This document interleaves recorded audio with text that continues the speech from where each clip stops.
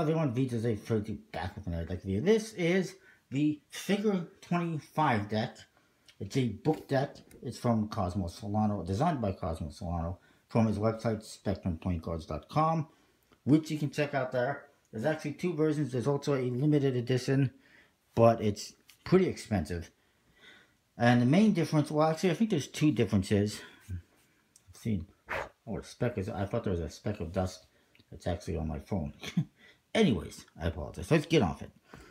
The main difference uh, is just the the tuck case. I, I, think the back design as well. I could be wrong. But it's designed to look like the expert at the card table book. It actually flips open. It's very cool. It's the expert at the card table in gold foil. On the one side, on the, on the front here, and the back there's nothing.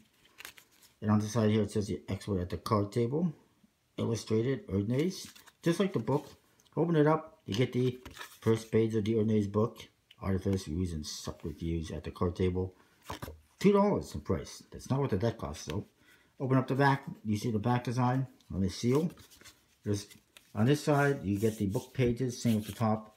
And the bottom, which also says it's made by the USPC. Unfortunately, you can see it's printing a little bit. I was concerned about that because it's overlaps. It's damage waiting to happen. And the seal is a snap type seal with a spade tip on it. It's also a little bit awkward to open it up and get the cards out, just a teeny bit. Nothing major. I think it's a very interesting idea though. There is, like I said, a limited edition one. I think there's only a thousand produced. Or actually, no, I think it's 300 produced. I don't remember exactly. But that one actually features like a hard cover, hard, it's like a uh, hardcover book. As opposed to this one. This one's more authentic to Erdnase, I think, because that's the kind of covers it has. At least the one I have it is like that. Um, but yeah, the other one's obviously a little sturdier and pricier. And I believe the other one has a white back design, whereas this one is green. Green and a gold. You see the figure 25 on there doing the bottom deal. And some gold details throughout. It's very nice. Nice color. Perfect for an Erdnase deck centered pretty decently. You get a blank card. You also get a double backer. Always nice to have. Good for magic tricks. The Jokers. It says Joker on top, the bottom, SW Erdnase, and you get that figure 25. It says, if requested to determine from what single artifice the greatest advantage is derived, we would unhesitatingly, unhesitatingly decide in favor of bottom dealing. So there you go. That's what Erdnase says himself. That's the best one. The other Joker, uh, similar. Same thing, except it says, There is but one pleasure in life greater than winning. That is, in making the hazard. The Ace of Spades.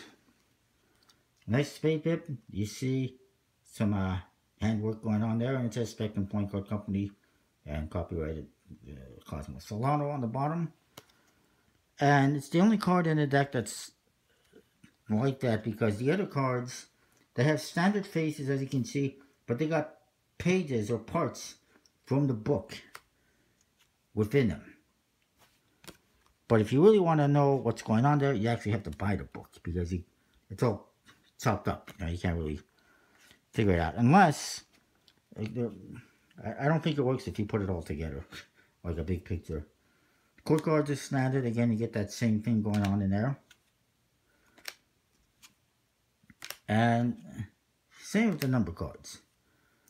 Um, I guess all things considering, considering the detail that went into the faces, a nice back design, be very interesting, unique tuck case.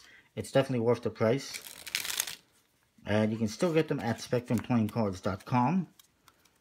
It is printed on a B stock, an air cushion finish, handles beautifully.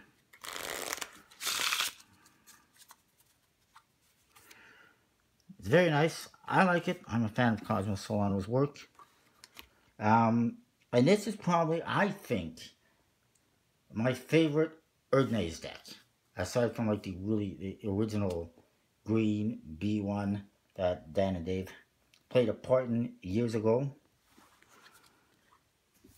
I like it. I think it fits perfectly. A hell of a lot better than the illusionist ones. I highly recommend checking these ones out. I'm going to say 10. 10 out of 10. I like it. Well, okay, you know what? Uh, to be fair, I'm going to say 9.5 out of 10 for this version.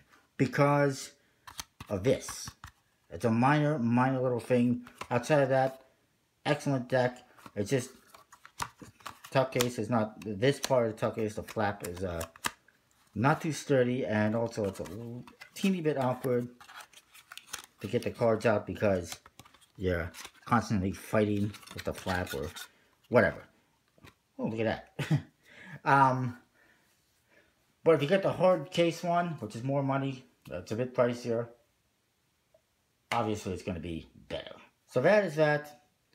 Check it out. Don't forget to check out collectiblecoincards.com. Use the code VJOSE32 to save 10% on the order. I like it. I recommend checking it out. Don't forget to comment, rate, subscribe. Let me know what you think. I'll see you next time with more.